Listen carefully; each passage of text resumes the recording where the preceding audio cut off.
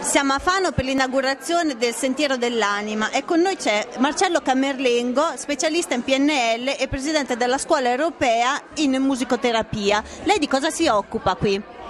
Allora, qui porto avanti un determinato progetto che è musicoterapia in gravidanza e attraverso l'elemento sonoro in pratica facciamo interagire la futura mamma col bambino che ha in grembo serve sia proprio per migliorare la comunicazione appunto con l'essere che sta per nascere che appunto per una serie di attività di rilassamento e quindi portare con tranquillità la gravidanza a termine.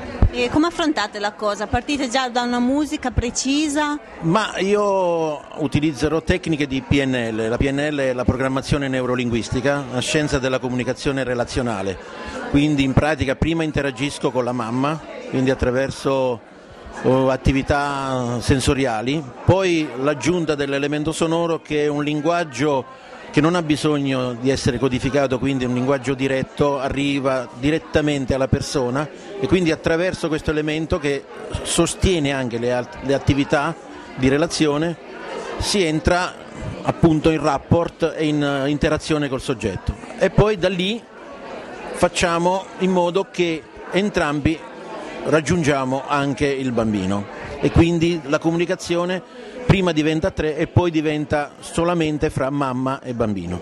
Quindi una cosa che possono portare avanti anche a casa con qualche esercizio?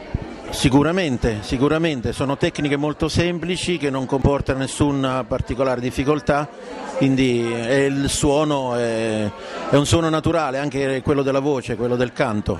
E la durata del corso?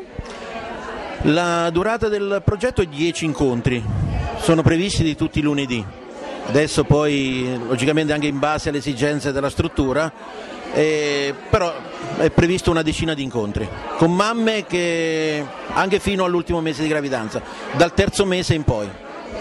Bene, allora invitiamo le mamme a partecipare al corso e noi la ringraziamo. Grazie a voi e speriamo di accogliere più mamme possibili. Grazie.